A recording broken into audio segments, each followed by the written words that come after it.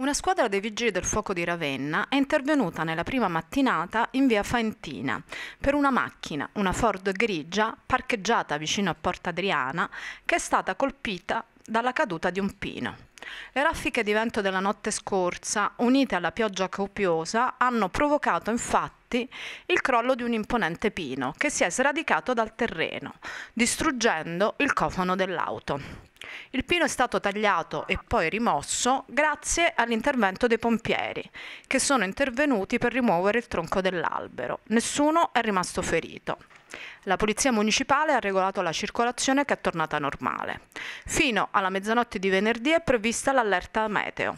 Il sindaco si raccomanda di prestare particolare attenzione allo stato dei corsi d'acqua, alle strade allagate e ai sottopassi, di non accedere a moli e dighe foranee e prestare particolare attenzione nel caso in cui si acceda alle spiagge.